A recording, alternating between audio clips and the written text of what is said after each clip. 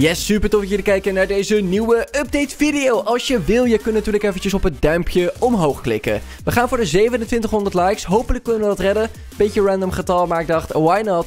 Abonneren op dit kanaal. Dat kun je natuurlijk ook doen. En je kunt ons supporten in de item shop. De code te veel gevraagd, 5% voor je aankopen, gaat onze kant op. Wie onze code ook heeft gebruikt, is Simon Koppens. Ik heb jullie support a creator code gebruikt. En ik zie het inderdaad. Je hebt namelijk de Star Wand gehaald met onze code. Hey Simon, er wordt heel erg Een dikke shout-out naar jou. Een super toffe pickaxe die ik ook echt heel erg veel heb gebruikt. Goed, laten we doorgaan naar het eerste topic. Ik heb best wel interessante dingetjes, niet al te veel. Laten we gelijk gaan starten. En het eerste dingetje gaat niet eens zozeer over Fortnite, maar ook weer wel. Het gaat namelijk eventjes over de Epic Games Launcher. Namelijk, je moet je eventjes voorstellen als je aan het downloaden bent, dus bijvoorbeeld een Fortnite update, dan trek je op dit moment al het internet leeg. Dus stel je hebt 100 Mbit, dan gaat 100 Mbit naar de Fortnite downloader, zeg maar, om die update zo snel mogelijk te downloaden. Maar dit kan voor problemen zorgen, namelijk bijvoorbeeld dat je broertje, zusje, je ouders of wie dan ook in het huis op hetzelfde netwerk, die kan dan last krijgen van zijn of haar internet. Het is natuurlijk vervelend. Uh, Epic Games die zag dit en die gaat nu een soort van download limiet instellen. Tenminste, ze gaan het programmeren zodat jij het kan instellen. Dus stel je hebt 100 Mbit, kun je zeggen van oké, ik wil met max 60 Mbit downloaden, zodat er nog 40 Mbit over is voor familie. Weet je wel, of iemand die op het netwerk zit. Dus dit is super chill. Dus je kunt straks gewoon een limiet, uh, limiet zetten. Het gaat dan wel ietsje trager natuurlijk. Maar het maakt niet zoveel uit. Want meestal, bij de meesten in ieder geval, is de update toch snel genoeg klaar. En moet je daarna toch nog wachten voor de downtime. Dus op die manier heeft niemand er last van. Niemand heeft dan meer lag in huis. Uh, zeker weten een aanrader om, uh, ja, stel je hebt heel erg slow internet, dan moet je dat sowieso instellen, denk ik. Goed, laten we doorgaan naar het volgende dingetje. En dit gaat eventjes over een nieuwe LTM die erin gaat komen, namelijk de Arsenic LTM. Namelijk, dit wordt een LTM die een soort van infected versus survivors is. Dus je hebt bepaalde mensen die infected zijn met een soort virus, hoe wat we nu dus ook hebben. En die gaan dus tegen de survivors. En die moeten er natuurlijk voor zorgen dat ze overleven en niet geïnfect worden. Eigenlijk wat wij nu ook doen, door middel van thuis zitten, bla bla bla bla uh, in ieder geval, uh, deze LTM die komt er zeer binnenkort in.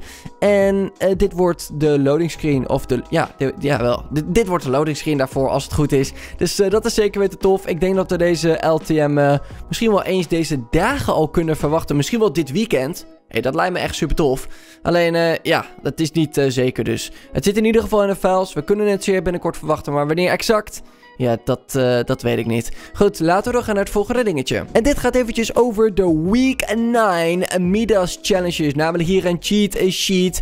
Uh, ja, ik wil hier eigenlijk nog iets over zeggen.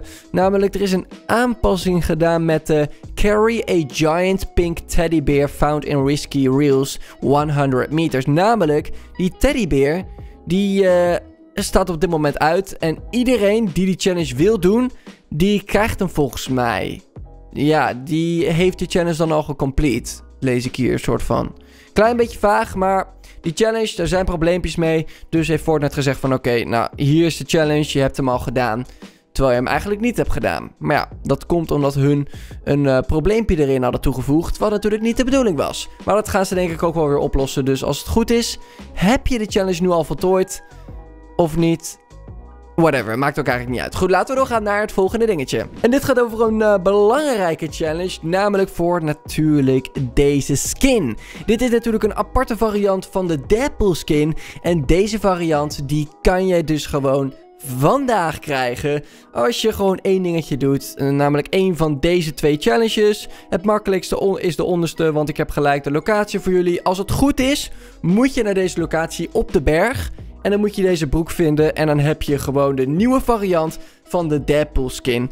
Hoe vet is dat? Dus... Uh, Sorry, uh, ik moest een boer laten. In ieder geval, het was natuurlijk super tof. Die X-Force heet die. Ik ga hem sowieso eventjes halen, want het is zo makkelijk om te doen. Een nieuwe variant dus, een nieuwe skin. Damn, pretty sick. Goed, laten we doorgaan naar het allerlaatste dingetje. En dit is gewoon eventjes een grappige clip. Laten we gewoon eventjes kijken wat hier gebeurt.